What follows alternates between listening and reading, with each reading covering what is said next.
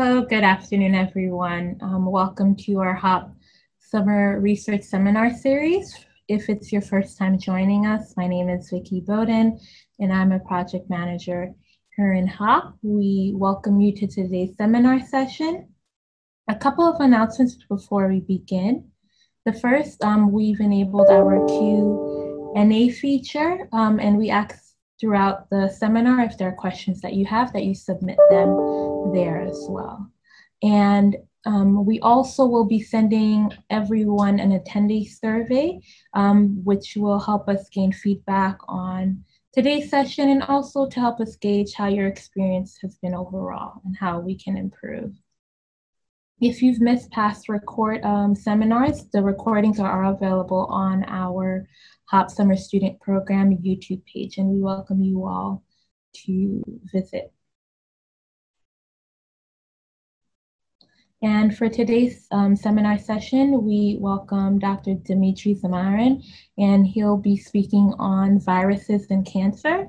Dr. Zamarin is a medical oncologist specializing in the care of women with gynecologic gynecologic um, cancers, including cervical, ovarian, and endometrial cancers. His clinical and laboratory research is focused on the development of novel ways to use the immune system to treat cancer. And he is involved in clinical trials evaluating novel immunotherapy drugs in patients with cancer. In addition, he has a special interest in genetically engineered oncolytic viruses, an emerging class of immune therapeutic drugs that have shown significant clinical promise in the recent years. By manipulating the oncolytic viruses and the immune system, he's exploring different ways to enhance the immune recognition of tumors and to develop novel treatment strategies that would be applicable to different cancer types. Again, we'd like to welcome Dr. Samarin. Well, thank you very much for the for, for the kind invitation. So, um, so uh, uh, um, and and thank you everybody who is uh, who is attending the the talk, and hopefully we'll be able to share my passion with uh, about uh, viruses uh, in, in, general and and explore it in your in your fu- future research um, as well. All right, so um, so, so again, um, today's talk is really covering viruses and and and how the viruses may interact with with cancer. And you know many people might not know that there are a lot of connections between viruses and cancer. So so uh, and, uh, and i'll talk to you about how viruses may interact with cancer in both positive uh, and negative ways today. And hopefully we'll have some time to answer uh, some of your questions. So uh, so we'll start with the very basics. Um, uh, what are viruses? So, so, so viruses are obligate intracellular parasites. So, so they cannot survive outside of the cell. They really require cellular machinery for, for replication. Viruses may come in many different flavors. Their, their genetic uh, material may contain either uh, DNA or RNA. Uh, they are very genetically diverse, but, but they're much simpler than any cell that they infect. In fact, they're much smaller than any cell that they may infect. And, and shown here is an example of, uh, of how does the virus size compare to a cell size. And you can see that uh, uh, uh, here's, here's just basically like an average uh, cartoon of a cell. You have a virus uh, shown here, which would be one of the bigger viruses that exists, which is a herpes virus. And this is approximately 200 nanometers uh, in diameter. And then you have smaller viruses like polioviruses, which are significantly smaller. But of course, you know, even with these biggest viruses, they're vastly uh, overshadowed by the by the uh, by the size and the complexity of the cell that they can infect. Again, viruses are many, and and in fact, many of uh, each of the viruses is very unique and it, can exhibit very unique biology and this can in turn uh, can dictate the host that they infect and also which tissue within the host that can infect and then uh, how, how pathogenic it will be. So, so shown here on this slide is the, is the general classification that we have for viruses. Uh, those are just the main uh, virus families that we have uh, and specifically focusing on vertebrates uh, or, or, humans and, and, and, uh, and other animals. And you can see the viruses are basically primarily classified uh, on the basis of the type of genetic material uh, that they carry and how does that genetic material uh, replicate. So, so we can have viruses that only have DNA, and, and these can be subdivided into categories of a single-stranded DNA viruses and double-stranded DNA viruses. We can have viruses that are pri uh, primarily carry RNA as their genetic material, but then in the process of replication in the host cell, they may generate uh, DNA as, as an inter intermediary step. And then we have viruses that are completely um, uh, RNA based and, uh, and, uh, and they replicate the RNA uh, within the host cell, again, just sort of by generating a copy of that RNA and then incorporating it into the viral progeny. And even within this RNA category, you can have viruses that carry a positive strand RNA, which means it's an RNA that by itself can already be uh, trans uh, translated to, uh, to form proteins. And then there, um, there are double-stranded RNA viruses and then negative strand RNA viruses, which first need to make a copy of the RNA to be able to transcribe uh, uh, or, or, rather translate uh, proteins.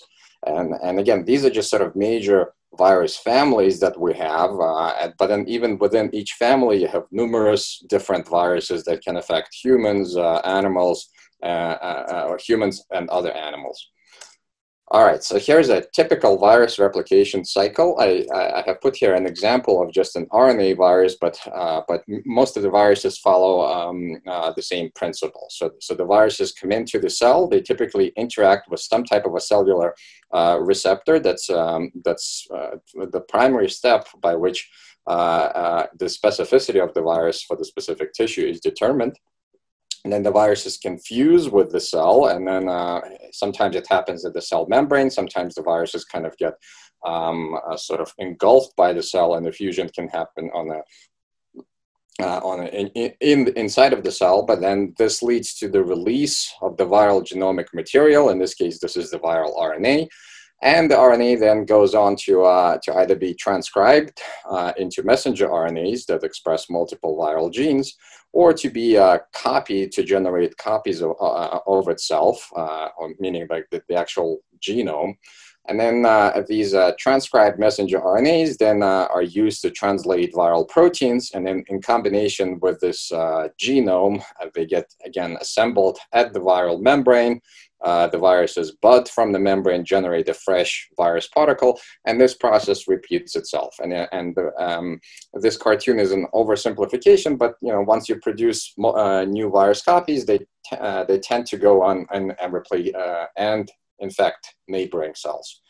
Um, obviously, this, this process does not go unchecked, uh, and uh, both the cells uh, and actually whole organisms have evolved strategies to fight the infection to stop it from, um, from propagating. So in the process of this uh, transcription um, uh, of the viral genes, um, the viruses do activate a number of cellular pathways, uh, and many of these pathways are specifically designed to recognize these foreign uh, viral genetic material. And one such pathway here is um, uh, that's demonstrated in this um, uh, cartoon is this uh, RIG-I MDA5 pathway, which recognizes viral RNA. And then uh, through, a, through a signal transduction cascade leads to production of a, of a specific protein uh, called, or a group of proteins rather, called type 1 interference. And, and, these, um, and these type 1 interferons are cytokines that get secreted from this uh, infected cell. And, and the purpose of the type 1 interferons is to really to alert, first of all, the infected cell, but also neighboring cells that have not yet been infected, that, that there is an infection going on. And, and these cytokines bind special receptor on the surface of, um, of, of the cells called type 1 interferon receptor. And this further initiates a signaling cascade that um, uh, that tells the cell that there that there is an infection going on, and the cell and allows the cell to shut down the processes that are typically required for viral replication, such as um, uh, translation. And this is really uh, what is known as an innate antiviral immune response. And I will come back to this in the future because cancers utilize the same pathways, uh, or the cells can utilize the same pathways rather to fight uh, cancer as well. And many of the cancers actually have dysregulated type 1 interferon signaling. So why do we study viruses? Uh, well, viruses are everywhere. Uh, in fact, the, the biomass on our planet uh, of bacterial viruses alone, not even accounting for mammalian or, or other eukaryotic viruses, it, uh, the, the biomass of these viruses alone exceeds that of all uh, Earth's elephants by more than a thousandfold.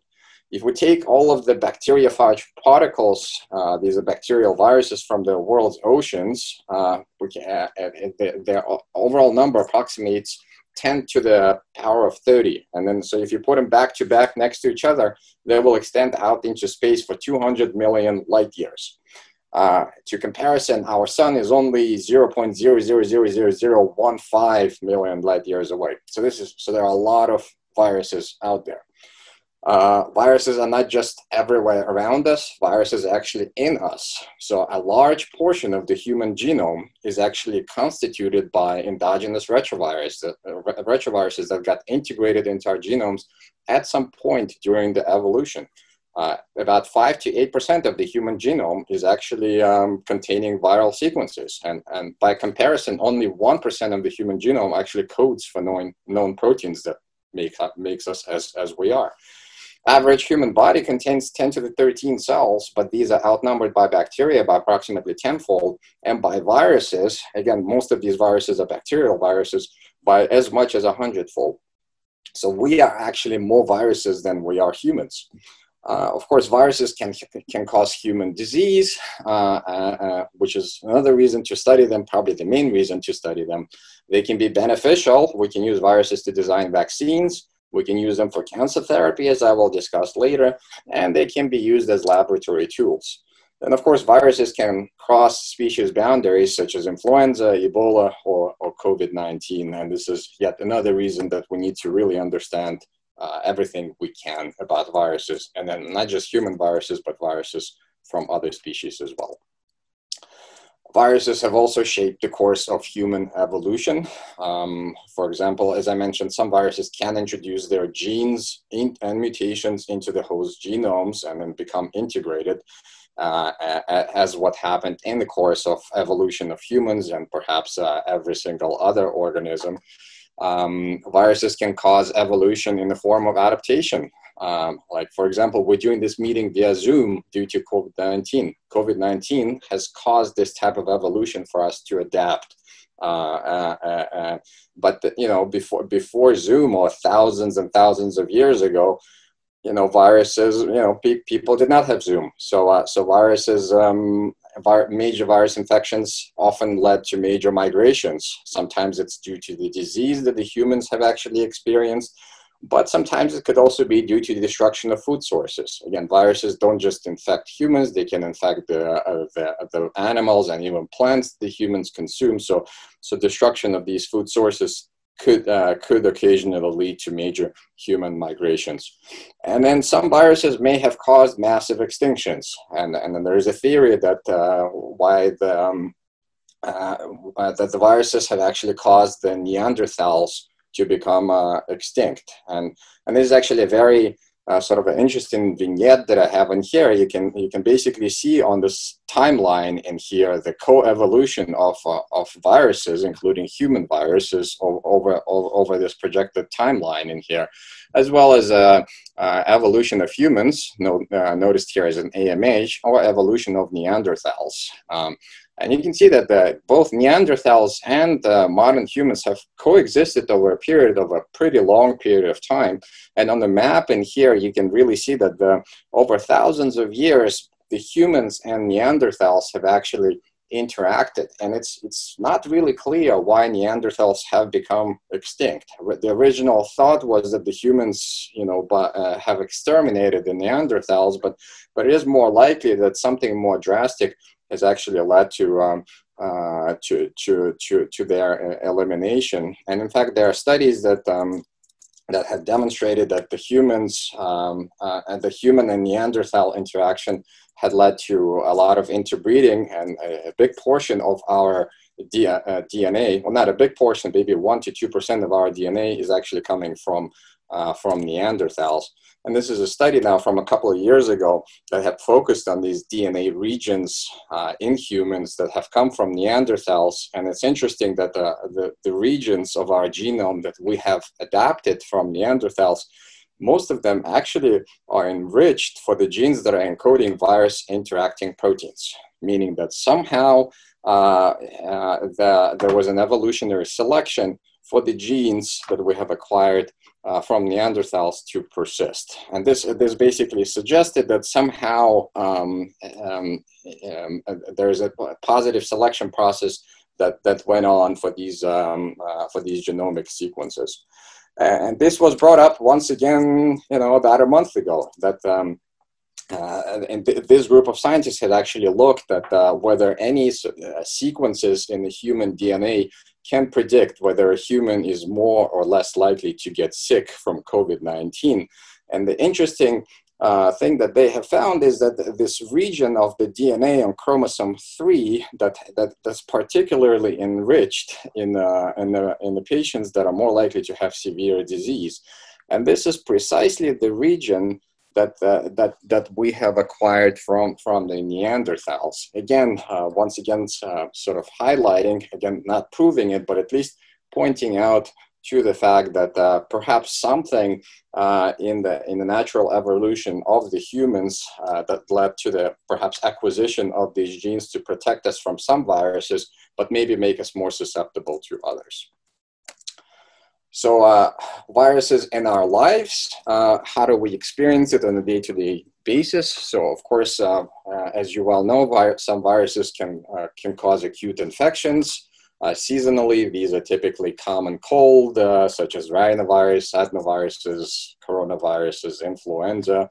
Many of them are preventable they, and can be eradicated through vaccination, such as polio, measles, mumps, rubella, smallpox. Many are geographically restricted but can spread, such as Ebola, uh, dengue, Zika, and West Nile. Some viruses uh, cause uh, acute infections that they can turn chronic, such as hepatitis B, C, and HIV. Some viruses can cause acute infections, but then stay in your body dormant to reemerge later, such as most of these viruses in the herpes virus family. Some viruses can integrate into human genomes, such as HIV. Some viruses can be used as laboratory tools. We, we frequently use viruses to genetically modify our cells or even modify, uh, modify mice. Some viruses change what we eat, like, such as genetically engineered plants have been uh, often modified by using viruses. And what we're primarily going to talk about today is the, the fact that some viruses are known to cause cancer.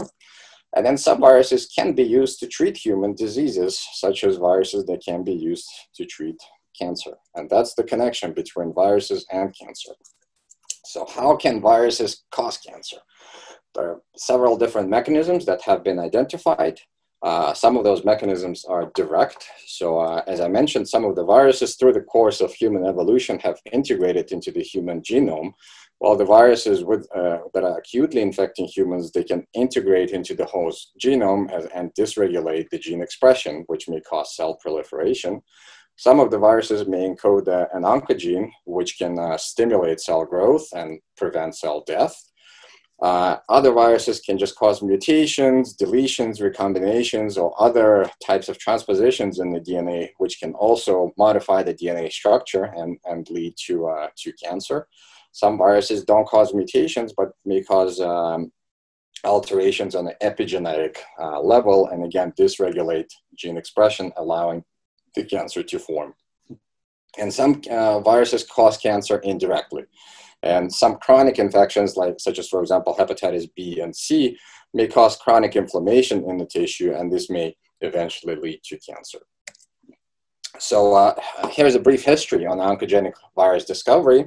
So, uh, and, and, uh, and in this slide, I'll primarily uh, cover retroviruses. So these are RNA viruses such as HIV that uh, once they infect the human cell, they first reverse transcribe their genome from RNA to DNA, and then this DNA gets integrated into the host uh, DNA.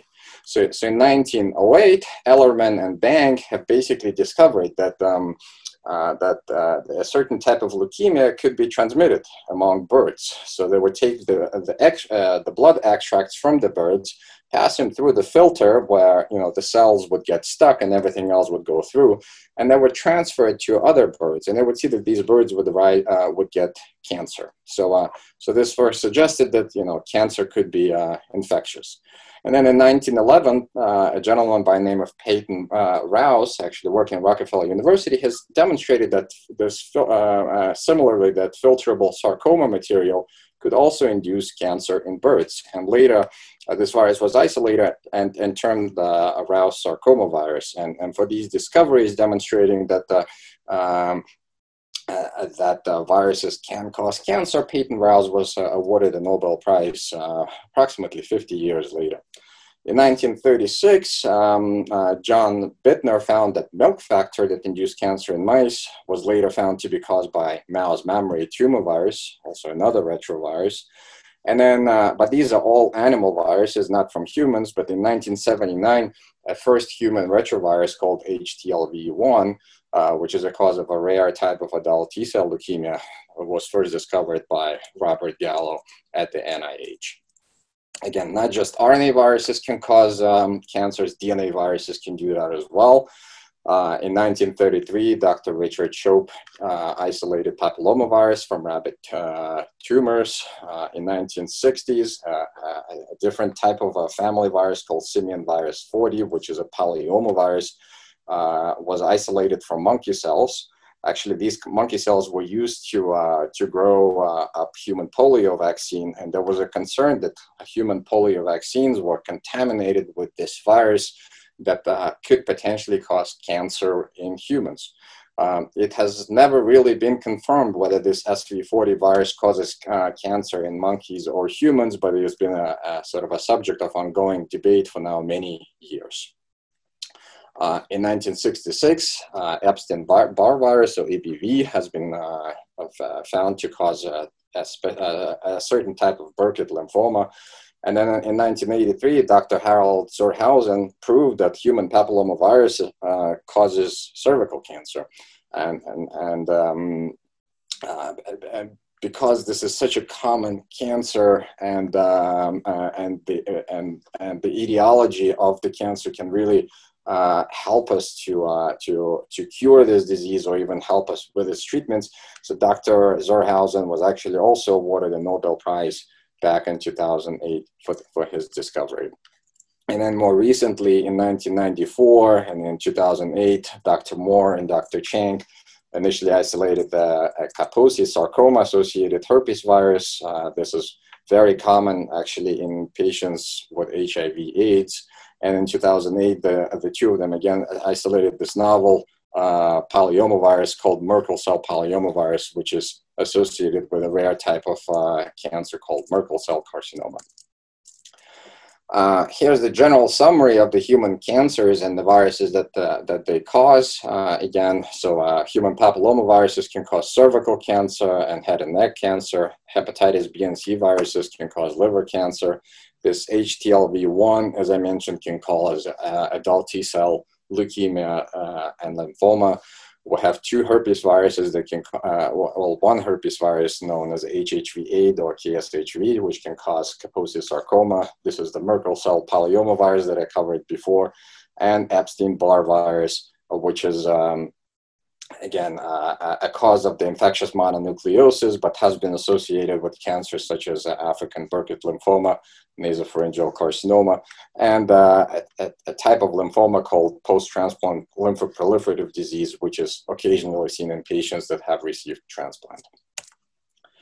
So we'll, we'll uh, I'll cover the, some of the viruses a little bit more in more detail, specifically now focusing on on how do uh, retroviruses cause cancer and, and, and this is actually it's, it's an important topic because uh, much of what we know about uh, cancer today has actually originally uh, been derived from the work on the oncogenic retroviruses. So, uh, oncogen- uh, so retroviruses are RNA viruses. Again, the genome is really made up of RNA. Um, once the viruses infect the cell, the genome gets reverse transcribed into the DNA, and this DNA then gets integrated into the host uh, genome. And then once it's integrated, basically the viral sequences persist there forever. Uh, so this is this has now become a part of the host genome. This is one of the reasons why such a large portion of our DNA is actually made up of these uh, historical or prehistoric uh, retroviruses. So, uh, and then these uh, sort of uh, this DNA now then is used as a template to transcribe fresh copies of the viral RNAs and, and to produce fresh viruses. And uh, you know, once the RNA is made, uh, it's it's it's in turn used to transcribe viral proteins, and these package the viruses at the membrane and and uh, and, and lead to production of fresh virus particles. And this this is what happens with the most common human retrovirus, which is HIV.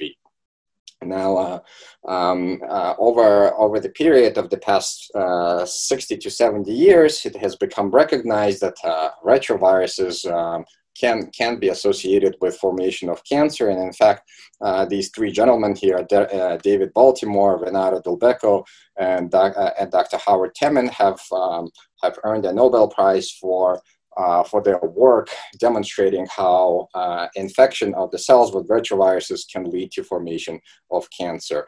Dr. Dulbecco actually did not do as much work on uh, retroviruses as he did on uh, polyomaviruses, but a lot of his discoveries have led to the, to the subsequent work by Dr. Baltimore and Dr. Temin uh, to make these discoveries. So how do retroviruses cause cancer?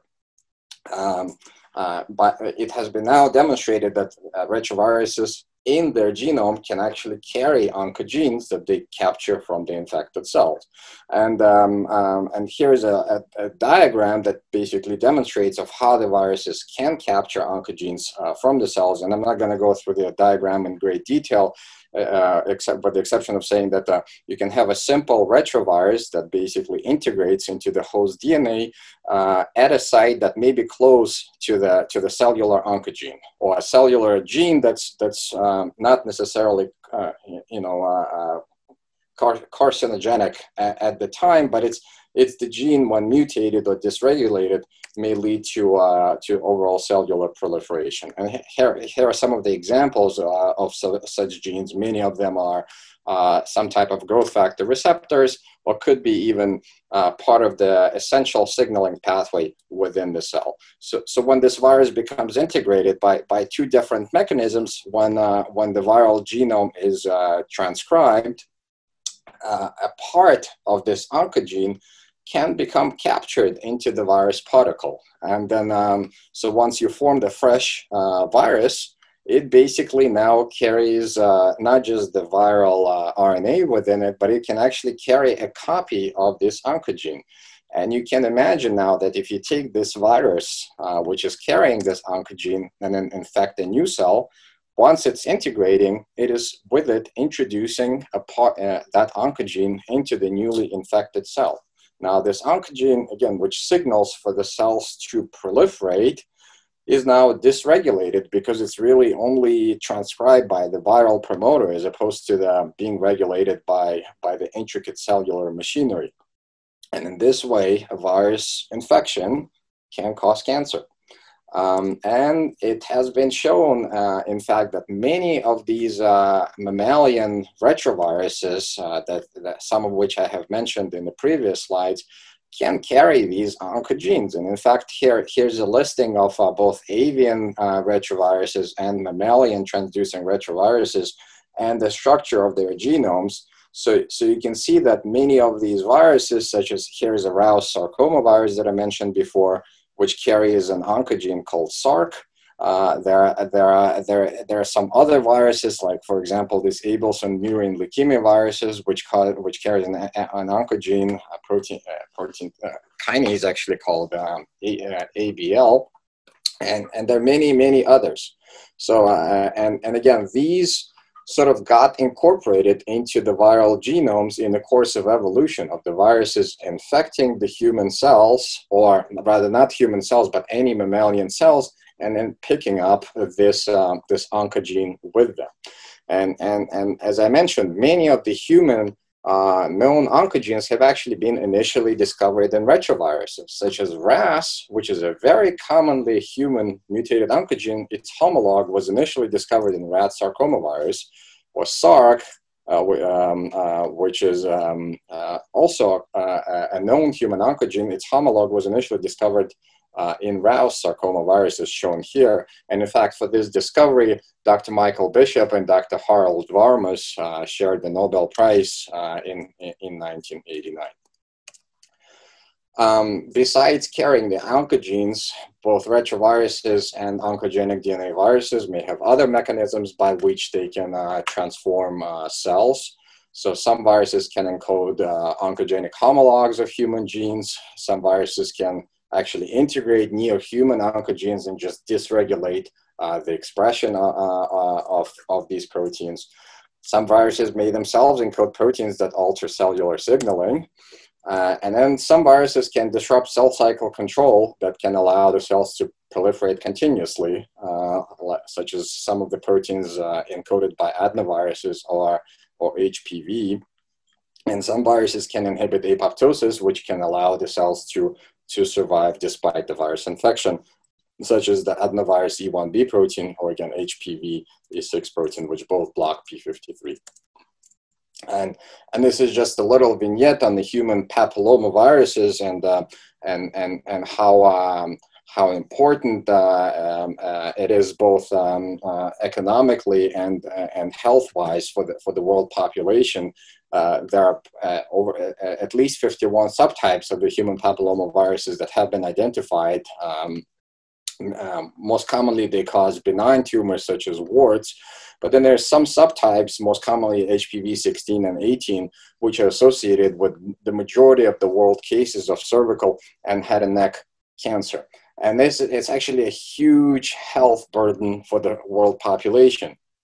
And, and so vaccination against HPV, which, which is now available, is actually very highly effective in preventing infection with the virus, and it could potentially prevent over 90% of the HPV associated cancers. What does that mean numbers wise? Globally, this would account to prevention of approximately 570,000 cancers in women and 60,000 uh, 60, cancers in men annually and this could also prevent over uh, 300,000 deaths annually. So, so clearly there's a huge burden of HPV-associated cancers around the world. And as you can see by this map, it is you know, due to the screening and vaccination, fortunately this burden is becoming less and less in the developed countries, but it's still unfortunately a huge um, uh, uh, uh, both economic and health concern for for for some of the developing countries. So therefore, measures to to incorporate vaccination in these countries could significantly reduce the mortality on e or even development of a cancer in the first place. Uh, lastly, I want to cover hepatitis B and C viruses. These are um, uh, viruses that normally cause uh, both acute and chronic infections in the liver the viruses themselves are not entirely uh, oncogenic, but they uh, but due to the chronic um, uh, infection in the liver, they cause uh, a, you know continuous death of the hepatocytes, which is uh, uh, liver cells. and as the liver cells die, the new cells proliferate to replace them. And the continuous proliferation of these liver cells increases the likelihood that some types of mutations will be uh, introduced. Uh, and then moreover, because you have chronic infection that's going on in the liver, uh, the infect, uh, uh, uh, and, and the chronic infection generates inflammation. So the production of free radicals and superoxides due to this inflammation can further lead to the DNA damage. With, with hepatitis B specifically, there's been some evidence of integrated hepatitis B DNA into the host DNA, which, which may suggest that some of the mechanisms of oncogenesis with this virus may also be related to, uh, to, to, altering of signaling pathways within the cancer cells. But, but overall, both of the viruses uh, uh, cause cancers by very similar mechanisms, which is chronic inflammation. Now that I've covered all of the bad viruses, I just want to highlight that not all viruses, including integrating viruses, are bad. Uh, and in fact, uh, some of this portion of the human genome, genome that's, that's made up of the viral sequences uh, carrying the viral sequences which are functional. And uh, and uh, and this is just a graph that demonstrates that uh, that we you know some of these virus viral sequences are, are, evolutionarily selected for meaning there is a reason that our genome has kept them. For for many of these sequences we still really don't understand why would the human genome carry these uh, sort of what we would call garbage sequences in, in other worlds, but, but perhaps um, uh, these sequences actually have a function. But we know that at least some of them do carry a function. An example of this is this, um, is this protein called syncytin. And, and syncytin is basically expressed, uh, um, uh, is incorporated into the human genome from uh, a human um, uh, endogenous retrovirus, but, it, but it's actually expressed. And when is this expressed? So it's expressed during pregnancy. It is a, it is it used to be a viral fusion protein, but during uh, during pregnancy, this fusion protein becomes upregulated, and it's actually playing a role in the formation of syncytial trophoblast, which is which is an essential part of the placenta. So there's a, there's a, um, uh, there's part of the placenta that has a, sort of both human uh, human they're all human both the fetal and the mother portion. And the, and and part of the part of these cells are actually fused together through the formation of this uh, through the expression of this sensation protein. And it's this is an essential process that kind of uh, keeps the the the child isolated from the mother and and prevents the immune system of the mother from attacking uh, attacking the child so this is uh, this is one example of how the, uh, the, the, the, human genome has actually co-opted the viruses to help them. And then there are other examples where viral promoter elements that have been um, integrated into the human genome, and actually the, those help to regulate production of some of the uh, hormones um, uh, uh, the, uh, some of these endogenous retroviral sequences can actually be served as, as a guardians of the human genome, even within the context of the cancer. And it has been shown that uh, some of these endogenous retroviral sequences can be upregulated during the cancer or certain types of therapy. And, and of course, remember what I, what I mentioned, these viral sequences can be recognized as foreign by the human uh, endogenous uh, uh, innate immune, uh, immune response and alert the cell that something wrong is going on, which may in, in turn alert, alert the immune system to kill that cell. So, so I'm going to switch gears now and talk about viruses, cancer therapy, and my personal academic path and how, how did I become interested in viruses and why am I talking to you about viruses today uh, in, in this cancer seminar. So I'm gonna um, uh, start a little bit about myself and how I ended up specifically studying viruses and cancer. So uh, it started actually pretty early in my age that I became interested uh, in viruses. I, I, grew up in Uzbekistan, and but at the age of nine, I contracted a, a very severe infection with varicella zoster virus. It's, it's a cause of chickenpox, but when uh, when you get it when you're older, in, in this case, uh, you know, older than the age of five or six, it can become pretty severe. So I had encephalitis from it, which means infection of the brain, which put me in bed for basically over 30 days, and I, it, it was it was pretty bad. So I had to learn how to walk again. But this first got me interested in viruses. Uh, a few years later, I moved to the US, but had no clear career goals at the time. So uh, I worked at a car wash helping my parents settle in the new uh, environment. I, I, studied at Manhattan College in the Bronx. I was a biology major. I had some interest in biology. Um, so, again, worked part time jobs uh, at night to cover uh, living expenses during college.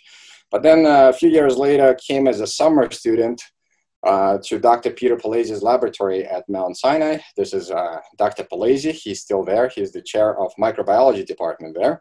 He's studying influenza viruses uh, and their pathogenesis. And this is where I really uh, sort of got my hands wet with laboratory research. I learned how to clone influenza virus genes, culture cells, and develop uh, basically methods for genetic engineering of these viruses. And, and, and this is where I settled on a career of a, of a scientist. So, so in year 2000, I joined Mount Sinai School of Medicine, MD PhD program.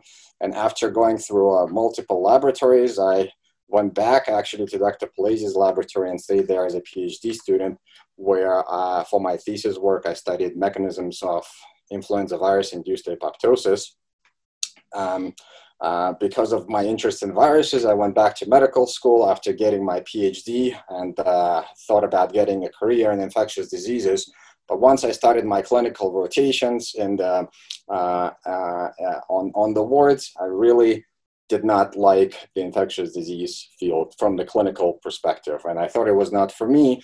But during these clinical rotations, I also encountered a very inspiring patient who had metastatic melanoma she had no therapeutic options at that point. So I uh, that I started doing research, um, uh, or sort of more like literature research, um, uh, and and came across several trials from 1970s which used this strange virus called Newcastle disease virus for for melanoma with with significant success.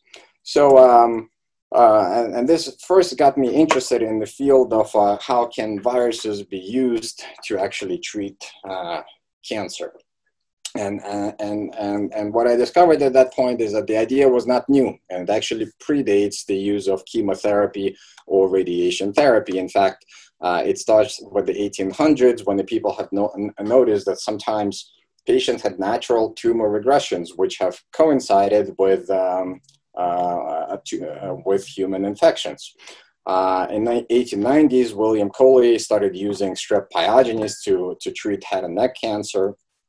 Uh, and then over the next sort of uh, 100 years, there have been multiple experimentation with various human and animal viruses, uh, which have demonstrated um, a different degree of success. And eventually, this has culminated in 2015 with a virus called T-VEC being approved for advanced melanoma.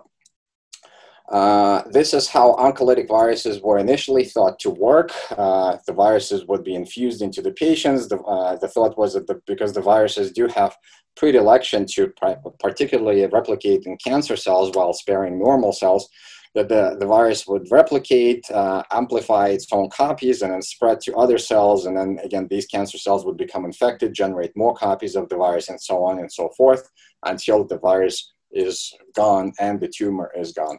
But now we know that this is not the primary mechanism by which these viruses work. Uh, what actually happens is that the viruses do generate a significant inflammatory response with the in influx of a lot of immune cells, which is probably, probably, probably the main mechanism by which the viruses can eliminate uh, cancers. So, so many viruses are naturally what we call oncolytic, but some of them can be modified for therapeutic purposes. Again, if we take many of the wild type viruses, uh, they can be uh, uh, potentially pathogenic in humans, but uh, the viruses can be genetically modified and attenuated, and then further uh, engineered or armed to express additional proteins that can aid uh, with, with their therapy.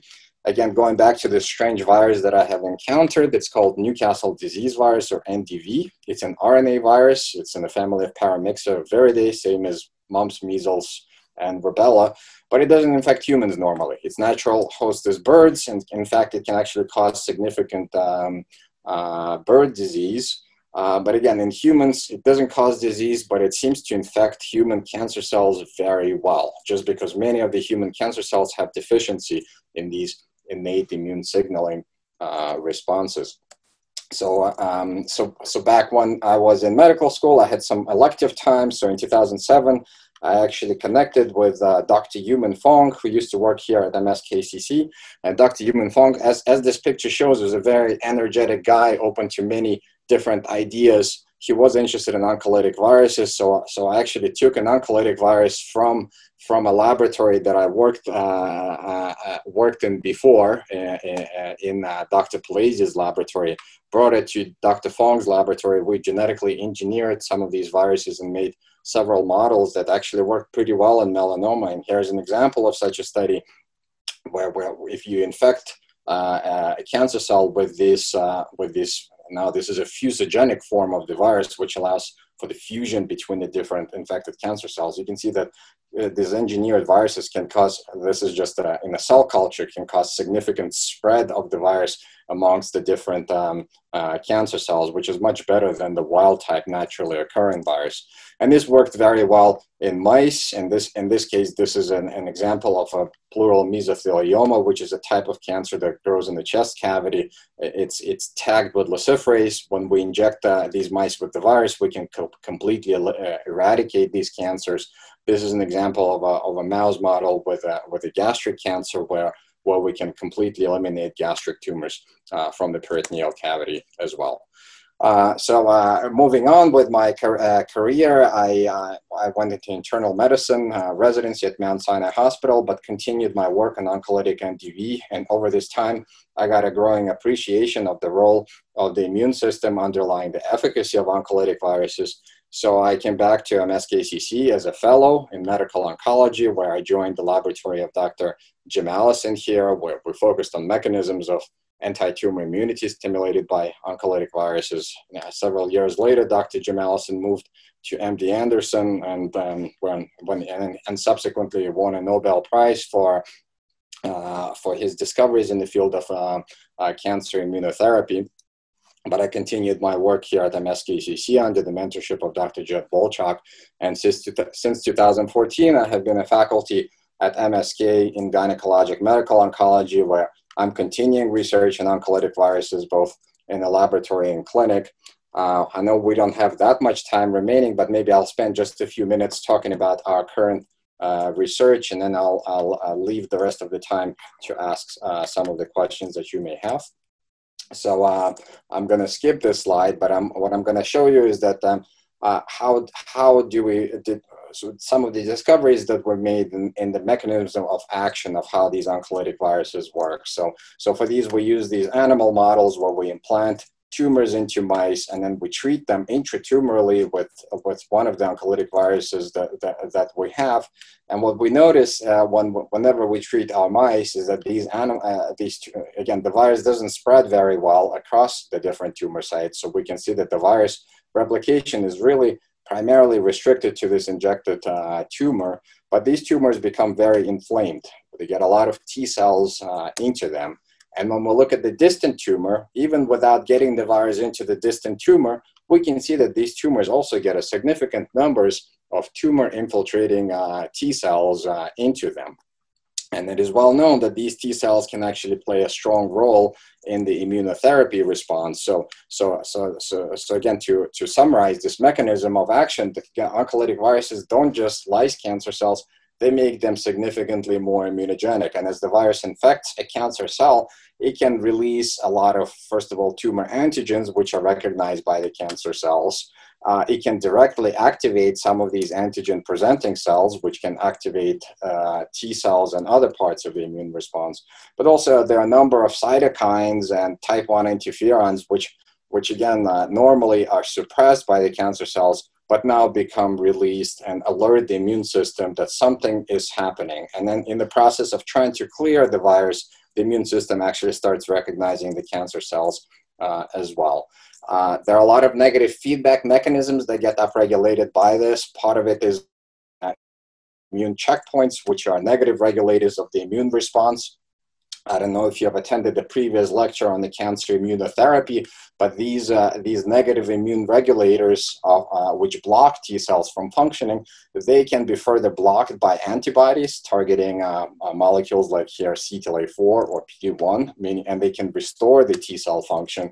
So in our models, when we use these kinds of strategies now and combine uh, our intratumoral NDV therapy with systemic therapy blocking these immune checkpoints, we can completely eradicate the cancers that are both either injected by the virus, and not just the, the, the cancers that are directly injected by the virus, but even the cancers that are present at the distant site. Because by being able to induce this tumor specific immune response, we're able to activate these T cells to fight the cancers both uh, that are directly injected with the virus and the cancers that are present at other sites. And this has now been confirmed in some of the early clinical trials. This is not with our virus, but with a different virus, showing that um, that this, uh, you know, that, that infusion of these immune checkpoints with just an intratumoral treatment with the virus can can uh, induce tumor regressions. Actually, in the majority uh, of the mice. And, and we're utilizing these strategies for therapy of ovarian cancer. This is the cancer that I commonly treat. It's a horrible cancer. It usually presents at a very advanced stage where the people come in with the swollen abdomens, with, uh, filled with lots of fluid called ascites. And surgically, if you look at what's going on in their abdomen, it's basically everything is covered by these um, uh, tumor nodules, making it basically impossible for the surgeon to completely uh, to remove. So by using animal models, we can demonstrate um, that uh, even in these peritoneal models, when we give oncolytic virus therapy, we can significantly induce uh, infiltration of these immune cells. So, so what we're doing now is we're running clinical trials where we where we give the patients intraperitoneal uh, viruses and combining it now with the systemic immune checkpoint inhibitors to see whether this kind of a strategy can be helpful for treatment of human cancers as well. So lastly, I'm going to conclude by summarizing some of the things I've presented to you. Uh, we are surrounded by many viruses and there are many different kinds of viruses. Uh, they have altered and probably defined the course of human evolution or maybe even evolution of every animal that we know or every animal that we don't even know. The viruses can teach us about various aspects of human biology, including cancer. Viruses can cause many human diseases, including some cancers. And also that viruses can be used as tools, uh, uh, laboratory tools, but or, or even therapeutic tools, such as therapeutic tools for cancer. And again, my uh, I just want to give you a few words of advice, perhaps just because my career path in oncology has not been typical for many people who who, who start out uh, uh being interested in the cancer therapy. But uh, uh, but but I think you should be open minded uh, about many different areas and learn about many different fields. And don't be afraid to challenge the dogma, but, but the broader uh, knowledge you have about the different fields, perhaps even outside of your field of study, the more you can contribute to your own field. Uh, you need to know your learning style. You need to learn to function independently, uh, but also know when you need to ask for help. Sometimes you could be the only expert in a specific field, even within your laboratory, but always know that there's somewhere someone out there that, that can help you. And, and the key probably for, for, for, for being successful is really finding the right mentor at each step of your training who will be able first of all to guide you and, and, and uh, for, guide you and also support you in any of the interests you may have. And with this i'm going to stop and we'll be happy to take uh, any questions. Thank you so much dr zamarin um, for the talk. We do have a couple of questions. The first is from osvaldo pena. They ask how do they know the neanderthal extension is caused by a virus? Sure, absolutely. Not exactly in the field of cancer therapy. So, so they don't know that the Neanderthal extinction has been caused by viruses. There are obviously many, uh, many speculations that are um, that are out there. I mean, the, the, the, leading theory in the field has been is that the humans, as they have spread, they have actually eliminated the Neanderthals.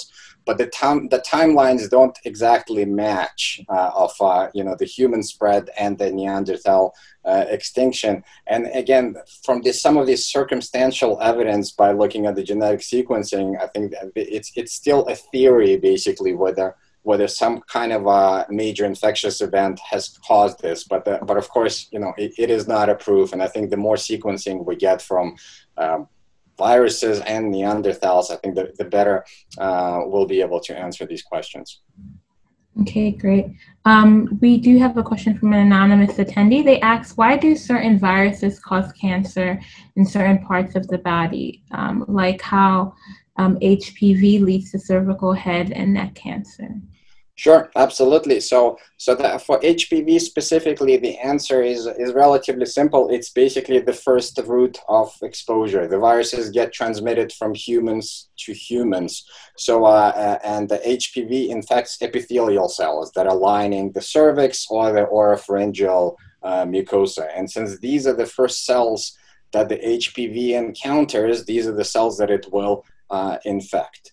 Uh, and and that's and those are the cells that will proliferate and um, you know become cancers. Some some uh, some viruses that get transmitted by other means that um, you know like for for example through blood are more likely to cause cancer in, in, in these organs. So, so hepatitis B or hepatitis C, for example, are usually primarily blood-based transmission, or they can be transmitted by sexual route as well. But again, the point is that they eventually go through the blood, and they have a predilection for infection of, uh, of liver cells. And uh, so you need so so to be to cause cancer in a specific tissue. So number one, it's it's where the tissue uh, is exposed to the virus. But number two is does your tissue have the specific receptor or ability to uh, to replicate that virus? Okay, great, thank you. Joelle Lee asks, what are the measures taken to stop oncolytic viruses if by chance they contribute to the rise of invasive cells? Um, so, um, so, so maybe the question. So, uh, the, the, question, if the question is about oncolytic viruses, meaning um, um, the, uh, there's a question. Um, maybe I'll, I'll, I'll reinterpret the question. So it's basically, mm-hmm. what if the oncolytic virus by itself becomes infectious and can kill a person? Uh, like maybe that's the easier way to to put it, because obviously these these viruses, while attenuated and have predilection for cancer cells, they can actually, you know, cause human infections. So there are different measures that can be done. So number one, that viruses can be modified to uh, to be only uh, infecting cancer cells where they have a specific receptor, but not normal cells. But the the main modification is usually again that the viruses are only able to replicate in cells that have deficient innate immune responses, which is primarily cancer cells. Normal cells usually have a robust uh, innate immune response. In fact, if I throw an, an, an oncolytic virus onto a, a, a, onto a cell culture with the normal cells versus uh, tumor cells, or even have one tumor cell and like millions of normal cells, it's only that tumor cell that will be, be infected just because uh, it's very early on in the infection process that the normal cells basically stop the virus from replicating. Great, thank you. Siru Pugh asks, how far are we from the point where researchers can tailor viruses to specifically target receptors on specific tumors? Uh, it's an excellent question that I wish I had the specific, uh, like the answer to. There is so much about the oncolytic viruses that we don't uh, understand still, and I think uh, you know the previous research was really trying to direct towards uh, having a virus specifically infecting only uh, a specific cancer cell on the basis of the receptor. But we know that many of these receptors are also expressed by many of the normal cells. So there are other mechanisms to to try to tailor the virus uh, replication to, to, specifically to the cancers. And now with the recognition with our recent findings that it's not necessarily the virus replication in the cancer cells that's important, but it's how well does the virus induce uh, your uh, immune response against that specific uh, cancer cell, meaning that how well does the virus teach the immune system to recognize that cancer cell as cancerous? That's probably going to be the primary mechanism by which. Uh, by, uh, by which we're going to try to tailor these types of therapies to become more immunotherapy like rather than oncolytic uh, per se. Okay, great. So we've gotten a couple of questions um, in reference to your professional path, specifically your career and choosing a mentor. Could you speak a bit more about um, how did you go about choosing your mentor and the importance of mentorship through your um, career progression, not only as a physician scientist, but in your college level, your medical training, and so forth? Yep. So, so sometimes things just kind of uh, fall in place, right? And then uh, you may you may uh, discover a person that that uh, that actually has a passion for a certain uh, field of research, and then you will learn to share uh, share their passion. In my case, I guess it was a little bit different because I almost had my own passion, and then I just sort of uh, looked for a person who would have a a tangential interest, but at the same time would uh, you know would be, would become um, no pun intended uh, uh intended infected by my passion. So it's uh, so this is where uh, uh, I think that's that's how my career path has has progressed. The, the, the best way to find out about a mentor a lot of time well first of all you need to you know you need to experience you know the have some experience with them. So this is why in graduate school or uh, uh, you know they allow you to to rotate, for example, through multiple laboratories to see what your relationship with the mentor would be like. But you also need to know your own uh, learning style. I know that there are some mentors that that you know just constantly watch you and are breathing breathing down your neck, as opposed to mentors that uh, that completely delegate to you and uh, give you freedom to do whatever you want. So, so knowing what you're comfortable with and what your mentor is comfortable with is important when establishing that kind of a relationship. Um, in the end, asking people who have trained in the laboratory was probably the most uh, important uh, thing for me when choosing a specific mentor because a lot of times it's not just their mentorship in um, in the specific subject that you're studying. Because a lot of it a lot of the information you can you can get from uh, from the web uh, or from talking to your to your immediate colleagues. A lot of it stems actually whether this is a, is not just mentorship but sponsorship. Is that does this person have your career interests in mind? Meaning is this the person that at that crucial time of need are they going to be the one that's, that are going to pick up that phone call that important one important phone call that you need and are they going to make that phone call? And as you're deciding on your mentor in the future you kind of need to ask yourself that question is this going to be the person that's going to make that important phone call for me or not Okay, great. Thank you so much, Dr. Zamarin, um, for your talk. I'm just going to share my screen before we close for a couple of announcements.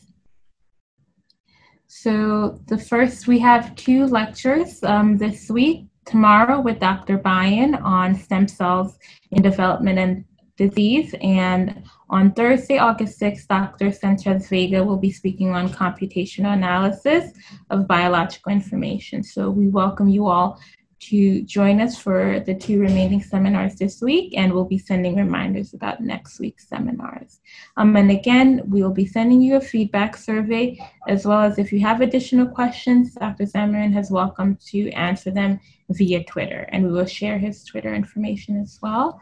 Thank you all for your time, and enjoy the rest of your day. Thank you again, Dr. Zamarin. Sure, absolutely.